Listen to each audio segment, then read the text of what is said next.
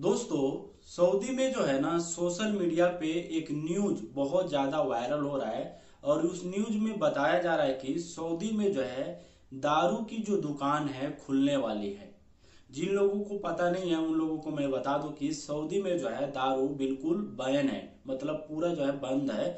अगर कोई गलती से दारू बना के पी लेता है ना, यहाँ के किसी भी गवर्नमेंट के आदमी को पता चलता है तो सीधा जो है जेल में उठा के डाल दिया जाएगा और पाँच साल का जेल होता है और उसके ऊपर कुछ रियाल का जो है फाइन भी आएगा। तो यहाँ पे दारू बैन है। अगर एक खबर सच्ची है, मान लो अगर सऊदी में दारू की दुकान ओपन हो रही है ना तो जो इंडिया, पाकिस्तान, बांग्लादेश से आते हैं कमाने के लिए, वहाँ पे अपने मुल्क में जो दारू पीते हैं, अगर यहाँ पे काम करने के लिए आ रहे हैं ना तो जो जितना कमाएँगे उतना यहाँ दारू में खर्च कर देंगे।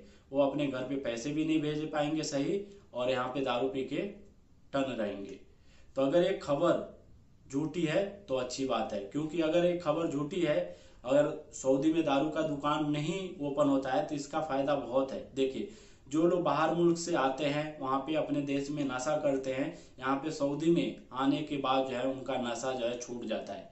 क्योंकि यहाँ पे बहुत सारी चीज़ जो है ना, नशीली पदार्थ जो है यहाँ पे नहीं मिलता है, जिसके वजह से उनका पैसा भी बचता है और बॉडी भी सही रहता है और बिल्कुल जो है दारू से मुक्त भी हो जाते हैं, उनका नशा बिल्कुल छूट जाता है।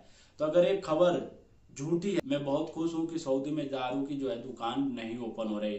अगर ये सच खबर है तो भाई, बहुत मुश्किल होने वाला आने वाले टाइम में। अच्छा रहेगा कि खबर झूठी हो। आपको क्या लगता है, ये खबर सही है कि झूठ है? और क्या दारू की दुकान जो है सऊदी में ओपन होना चाहिए कि नहीं होना चाहिए, कमेंट करके ज़रूर बताइएगा।